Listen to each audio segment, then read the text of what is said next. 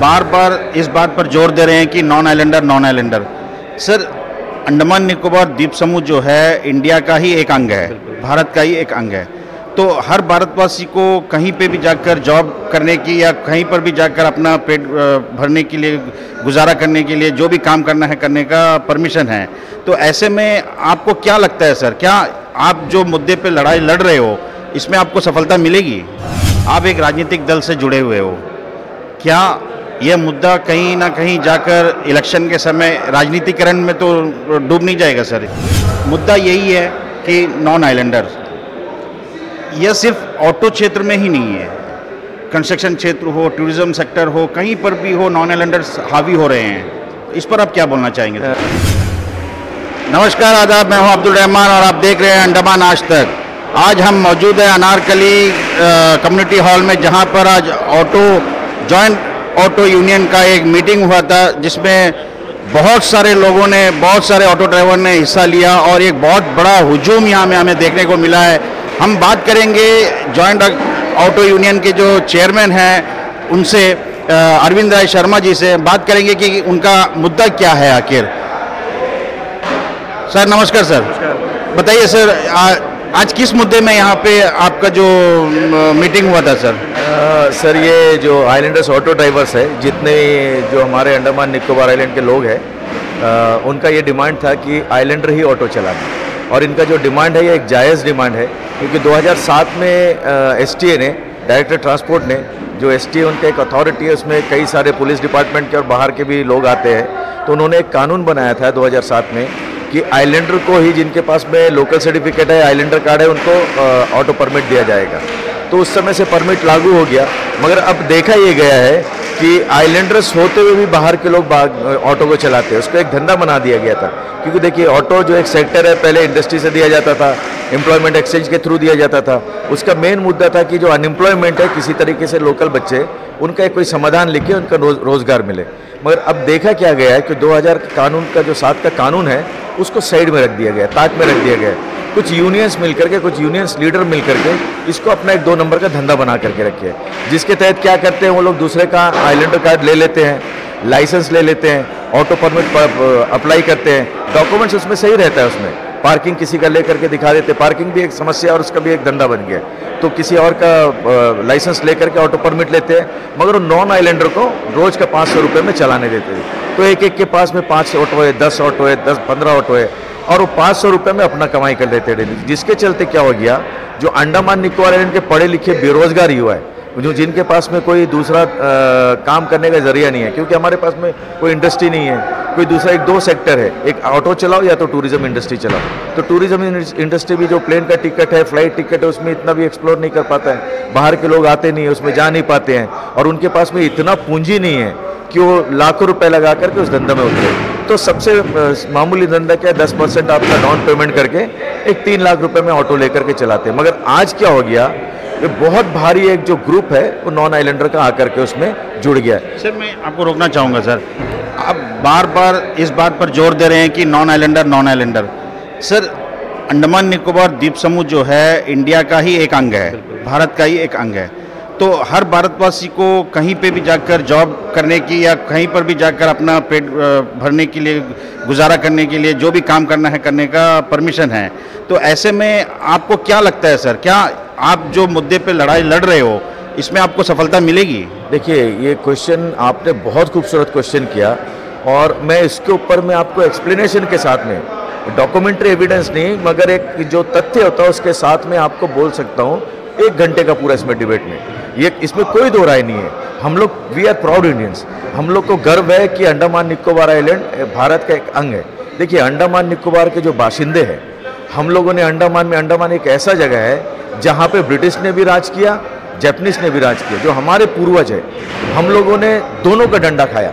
ये भारत सरकार को कम मालूम हुआ कि जापान जब यहाँ पे आया, हम लोगों के ऊपर में कितना जाती हुआ। तो एक देखिए, सेक्टर एक प्री फोर्टी टू है, बाद में सेक्टर्स लाए गए, और जो लोग जिनके माँ बाप पचास साल पहले पचास में आए, सत्तावन में आए, भारत आज़ाद होने के बाद में, उनका भी योगदान है, क्योंकि अंडमान का डेवलपमेंट में उनका भी, वो भी हमारा परिवार है। समझे ना तो हमको कोई इसमें इतराज़ नहीं है और इसमें कोई शक का बात नहीं है कि हम लोग भारत का अंग है कोई भी आकर के नौकरी कर सकता है। मगर आप देखोगे नॉर्थ ईस्ट में देखोगे उनके लिए कानून बना हुआ है। लक्षद्वीप में उनके लिए कानून बना हुआ है। और उनके पास में असेंबली भी है वो अपना कानून भी बना सकते हैं। उनके पास में इंडस्ट्री भी है मुख्य भूमि से जुड़े हुए हैं। हमको तो एक, एक special category government of India को देना चाहिए। लेकिन अब तक तो स्पेशल कैटेगरी अंडमान को अनाउंस नहीं किया गया है। मैं बात तो क्या ये इस छोटे से मुद्दे को लेकर आप भारत सरकार से लड़ने की कोशिश कर रहे हो? नहीं नहीं भारत सरकार से क्यों लड़े? हमारा क्योंकि अगर स्पेशल कैटेगरी देना है तो भारत सरकार ही देना है। तो हम हम भी चाहते हैं कि आप जो लड़ाई लड़ रहे हैं उसमें आपको सफलता मिले। लेकिन क्या ये मुमकिन है सर? देखिए सरकार हमारा सरकार है। चाहे किसी भी गवर्नमेंट को आने दो, हमारा सरकार है और भारत सरकार अंडमान निकोबार आइलैंड के बारे में बहुत अच्छे से सोचती है। देखिए, हम पहले क्या थे, आज क्या थे? आज थोड़ा सा समस्या मैं उस मुद्दे में नहीं जाऊँगा। हम गवर्नमेंट ऑफ़ इंडिया को रिप्रेजेंटेशन देंगे, उनको बात करेंगे। देखिए, आज तक हम लोग क्यों फेलियर हुए हैं? हमारा जो अंडमान का नेतृत्व है, कहीं ना कहीं चूक जाता है। उनका होमवर्क नहीं होगा या उनका रिप्रेजेंटेशन ठीक नहीं होगा। गवर्नमेंट को कन्विंस नहीं कर पाते हैं। देखिए सेम कैटेगरी आप मिडिल हाउस में दे करके रखे हो उन पर स्पेशल कैटेगरी मिलता है ना? लक्षद्वीप को मिलता है। हमारा कैटेगरी क्या है? हम भी उनसे दूर है। हमको आप असेंबली क्यों नहीं दे रहे हो? असेंबली इसलिए नहीं दे रहे हो कि सेंसिटिव जगह है। भारत का सुरक्षा सबसे पहले है। आप हमको असेंबली नहीं दे रहे उसका हमको कोई दुख नहीं है। हमें चाहिए मगर। मिल जाए तो बहुत अच्छा है, क्योंकि अफसर आते हैं। अफसर हमारे मनमर्जी से चलते नहीं है। एक मेंबर ऑफ़ पार्लियामेंट है, वो एक मेंबर ऑफ़ पार्लियामेंट बेचारा जा करके कितनी आवाज़ उठाएगा, कहीं कोई किसी भी पार्टी से बने। काउंसलर्स है, प्रधान है, वो कहाँ आवाज़ उठाएँगे? हमारा आवाज़ यहीं रह जाता है। तो मगर हमको एक स्पेशल कैटेगरी दे तो यहाँ के बच्चों का है, को कम से कम नौकरी और रोजगारी तो सिक्योर होगा। तो जो हम भारत सरकार को इसका रिप्रेजेंटेशन देंगे काम करेंगे देखिए ये मुद्दा उठा है आइलैंडर्स ऑटो से। मगर हम लोगों ने विचार किया है कि इस मुद्दा को हम लोग दूर तक लेकर के जाएँगे। ये बहुत लंबा लड़ाई जाएगा। सर एक क्वेश्चन और है सर। आप एक राजनीतिक दल से जुड़े हुए हो। क्या यह मुद्दा कहीं ना कहीं जाकर इलेक्शन के समय राजनीतिकरण में तो डूब नहीं जाएगा सर? नहीं। इसका राजनीतिकरण तो नहीं हो जाएगा। नहीं मैं इस मुद्दा के लिए अगर चाहूँ तो मैं कोई भी पार्टी को समर्थन नहीं करूँगा। अंडमान निकोबार आइलैंड को देखिए, सब राजनीतिक पार्टी का एक ही मकसद है कि अंडमान निकोबार तरक्की करना। तो मैं ये नहीं बोलता कि मैं बहुत कुछ ज़्यादा जानता हूँ, हमारा एक व्यू है, हमारा विजन है। आज हम लोग पिछले क्यों पीछे है? क्योंकि हमारा जो नेतृत्व है, जो भी पार्टियाँ कर रही है, उनका विजन और व्यू अंडमान के बारे में क्लियर नहीं है। देखिए, सबसे पहला तो डेवलपमेंट को आप हटाइए। जब हमारे बच्चे यहाँ पे सुखी रहेंगे पढ़ लिख कर क्या है, कल उनके सामने कुछ कोई भी रोज़गार हो टूरिज़्म का हो ऑटो चलाने का हो, दुकान चलाने का हो, ठेला चलाने का हो, जो भी चलाने का हो, वो सिक्योर रहेगा, हम लोग डेवलपमेंट करेंगे। तो राजनीतिक पार्टी से कोई मकसद मैंने मीटिंग में भी बोला है कि हम लोग आपको कहीं नहीं बोलेंगे, आपका आपका मतदान है, आप जाइए तो अपने रूम में जाइए बैलेट बॉक्स के पास जाइए, आपको जहाँ वोट दबाना है, दबा दीजिए। इस मन से आपको कोई इन्फ्लुएंस नहीं किया जाएगा कि आप उनको वोट दें। मेरे लिए मेरा आइलैंड फ़र्स्ट नेशन फ़र्स्ट देखिए, हम लोग सुरक्षित हो जाएँगे। देखिए, सबसे बड़ा खतरा क्या है ना, अंडमान निकोबार आइलैंड में भारी लोग भी आ रहे हैं। आज हमारे यहाँ पे अगर हम ठीक तरीके से देखिए मुझे जहाँ तक याद आ रहा है, एक 2000 दस पंद्रह साल पहले एक प्रोग्राम चला था जी में। उसमें ये बताया गया था कि अंडमान निकोबार आइलैंड में 500 से ज़्यादा अधिक आइलैंड हैं। हम लोग कई कंट्रीज़ से घिरे हुए हैं कि कई आइसोलेटेड आइलैंड है जहाँ पे पॉपुलेशन नहीं है। वहाँ पे टेररिस्ट कैंप भी चल सकते हैं। वहाँ पे कुछ और गति गैर कानूनी गतिविधि भी चलता है। जैसे आजकल ड्रग्स आ रहे हैं बाहर से। ऐसे ऐसे ड्रग्स का नाम है जो हम लोग जानते नहीं है। कोई बोलता है बह के आ गया, कैसे आ गया? मगर वो कैसे आ रहा है, वो तो सरकार को देखना है, वो चिंता का विषय है। मगर जब यहाँ पे इन्फ्लेक्स ऑफ़ पॉपुलेशन को रोक दिया जाएगा तो सुरक्षा के माध्यम से, देखिए, हम आज से नहीं जब हमारे बाप दादा यहाँ पे ब्रिटिश समय थे, ये पूरा बेल्ट था, हम लोग एक सिपाही का काम करते थे। हमारे जो पूर्वज रहे प्री फोर्टी टू के, हम लोग सिपाही का काम करते थे कि यहाँ पे कोई दूसरा कंट्री दुश्मन यहाँ पे नहीं घुसने दिया। हम जब आज़ाद हुए, हम लोगों से पूछा गया, हम लोगों ने अपने पूर्वज से सुना है कि आप किसके साथ जाओगे? आपको आज़ाद हिंदू आज़ाद कंट्री चाहिए, पाकिस्तान के साथ जाओगे, हिंदुस्तान के, अरे क्यों, हम सब भारतीय हैं, हम लोग हिंदुस्तान से लाए गए हुए हैं, हम लोग हिंदुस्तान से जाएँगे और गर्व से हम लोग तो भारत माता की जय जय हिंद बोलते हैं। सुनिए ना? तो ये हमारे लिए गर्व का बात है कि हम लोग भारत का अभिन्न अंग है, अभिन्न अंग ही रहेंगे। मगर हम सरकार से ये गुजारिश करेंगे कि एक कमेटी आप बनाए। पहले भी कमेटी आया, शेखर सिंह कमीशन आया था। आपका इंक्रोचमेंट का इशू लेकर के बात किया इन्फ्लेक्स ऑफ़ पॉपुलेशन को लेकर के बात किया। देखिए, आज इन्फ्लेक्स ऑफ़ पॉपुलेशन सबसे बड़ा समस्या है। सर, इसी में एक बात मैं आपको रोकना चाहूँगा। सर, आप आप राजनीतिक पार्टी में आने से पहले एक बहुत अच्छे सोशल वर्कर है। बिना किसी स्वार्थ के आपने कई सारे सोशल वर्क किए हैं। कई लोगों के लिए अपने अपना मतलब टाइम दिया है। और अब आप ऑटो यूनियन से जुड़े हुए हो। मुद्दा यही है कि नॉन आइलैंडर यह सिर्फ़ ऑटो क्षेत्र में ही नहीं है। कंस्ट्रक्शन क्षेत्र हो टूरिज़्म सेक्टर हो, कहीं पर भी हो नॉन आइलैंडर्स हावी हो रहे हैं। इस पर आप क्या बोलना चाहेंगे? देखिए, बहुत पहले मैंने अपने ही नाम से as a individual social worker मैंने एडमिनिस्ट्रेशन को एक लेटर दिया था, आज से तकरीबन 20 साल पहले। उसमें मैंने ये बोला था कि जो वर्क ऑर्डर पहले दिया जाता था पीडब्ल्यूडी में, उन्हीं को ऑर्डर वर्क ऑर्डर दिया जाए तो कम से कम मिनिमम 10 साल वो बच्चा यहाँ पे अंडमान में पढ़ा हो। पढ़ लिख करके बाहर निकल गया, उसके पास में कोई वो नहीं है, उनको कॉन्ट्रैक्टर बनाया जाए।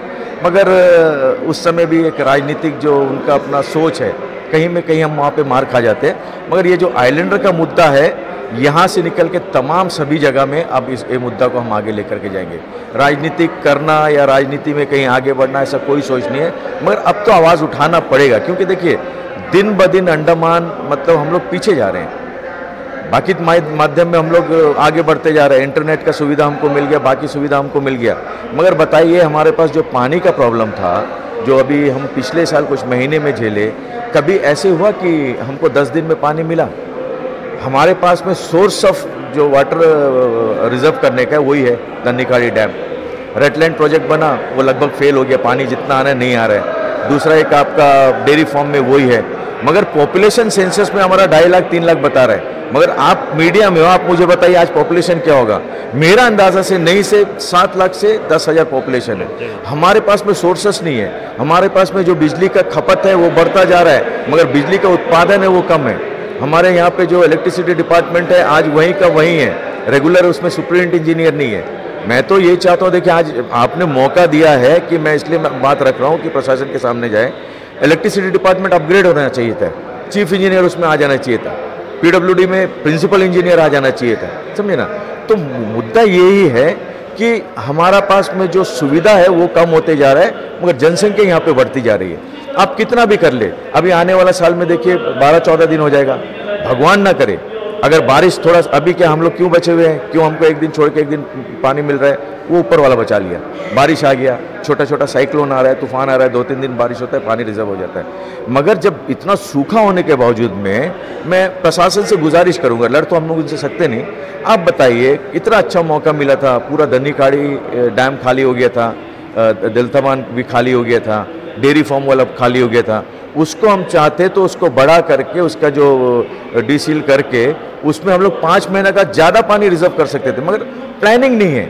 एडमिनिस्ट्रेशन का प्लानिंग नहीं है और हमारा जो नेतृत्व है इस बात को नहीं रख पाता है। मतलब किसी भी बात को नज़र राजनीति करना है। हम इसको नाराज़ करें, उसको नाराज़ अभी समय क्या आ गया हमको निर्णय लेना पड़ेगा। आपने जैसे पूछा राजनीतिक का। हमको समय आ गया निर्णय लेने का। अगर राजनीति करना भी है तो मैं अपने लोगों के साथ में राजनीति करूँगा। अपने जो आइलैंडर्स हैं, उनके साथ में राजनीति करूँगा। कोई बात नहीं ना, इनको लेकर के हम राजनीति कर सकते हैं। इनमें से किसी को हम आगे ला सकते हैं। मगर वोट के लिए राजनीति, हम अपने लोगों से गद्दारी, उनके खिलाफ में काम करना, ये कतई नहीं होगा। बहुत बहुत धन्यवाद, सर। आपने मुद्दे से हटकर भी कई सारे सवालों का जवाब दिया। बहुत बहुत धन्यवाद। हम उम्मीद करते हैं कि आप जिस लड़ाई को लड़ रहे हैं, शुरुआत किए हैं, उसमें आपको कामयाबी मिले। बहुत बहुत धन्यवाद, सर।